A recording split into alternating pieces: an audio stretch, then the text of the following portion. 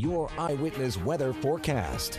Good evening, everyone. I'm meteorologist Craig Flint. Uh, as expected, definitely feels a little bit more like August out there today as uh, we've gotten a little bit more in the way of humidity, and there have been a few showers and thunder showers kind of around us here. So, really not much going on locally right now. That's downtown in the arterial 81 over 61. That's the dew point. So, it's a little bit more noticeable.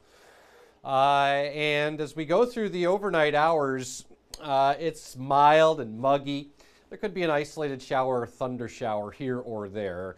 Uh, nothing too concentrated at a low of uh, 64. Tomorrow, different story. Becoming breezy with downpours and storms developing by lunchtime and then into the afternoon. And a couple of these storms, I think, could have gusty wind and some hail. The highest likelihood is south and east of Utica We'll take a look at that in a moment. All right, here's a look at what's going on right now. We had some thunderstorms fire up over the capital region, one lone guy over Fulton County right now. Uh, and then, like I said, locally, not much going on. That shower near Gloversville, but you can see here through the Mohawk Valley, it's dry. North of the international border, though, we have this line of thunderstorms. Uh, you can see the lightning increasing here across uh, southern Canada.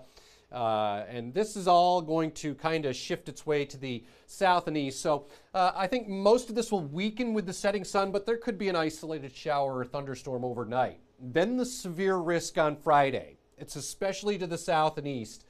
Uh, more specifics on that here uh, shortly. But we're still on track for a wonderful weekend. It looks good, warm, sunshine, uh, low humidity as well. Temperatures will be near 80 uh, both days.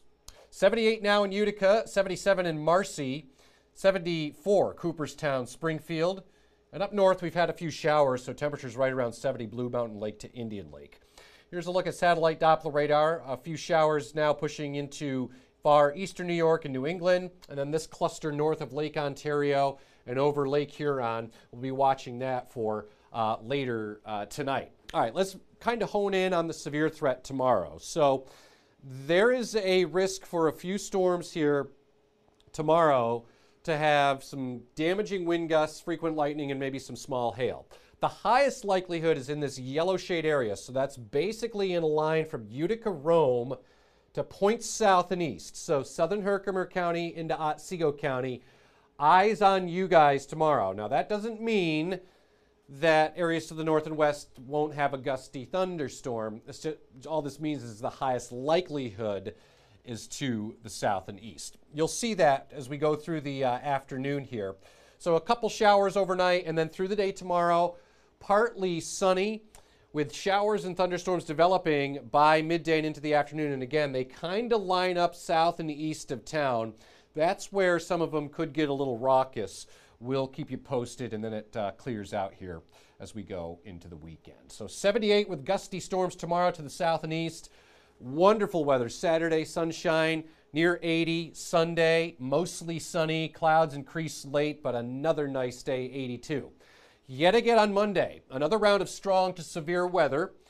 Could linger into Tuesday. Windy.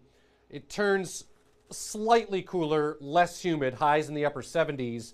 Uh, and then we go into Wednesday and Thursday. Uh, warms up, highs low to mid 80s, maybe an isolated thunderstorm by Thursday. Jamie, over to you.